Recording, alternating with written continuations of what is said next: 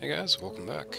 They released the Snapshot uh, 13W04A today, and one of the new features is that the dispensers will now dispense activated TNT blocks. So we can make some really cool automatic cannons with that. Um, let's and I have it so it's fully adjustable as far as the power.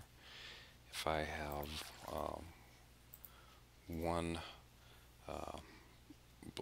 lamp lit up, that will dispense two blocks of TNT. And every lamp that gets lit up is two more blocks. So this should be very short. Um, let's bump it up to three.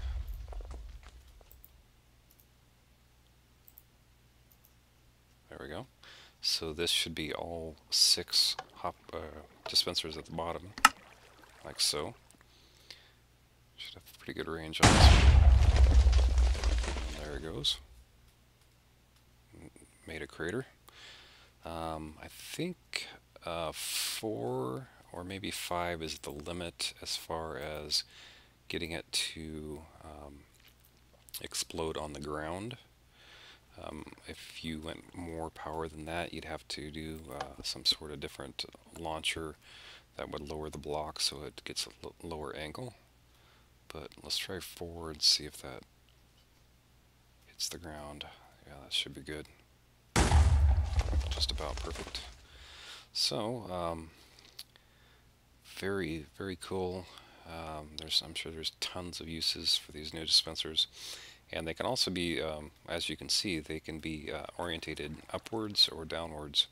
So uh, there's going to be a ton of uses for this. Let's go ahead and just max it out and watch it fly. This one has no chance of exploding on the ground, and I probably won't even see it explode. So, thanks for watching, guys. We'll see ya.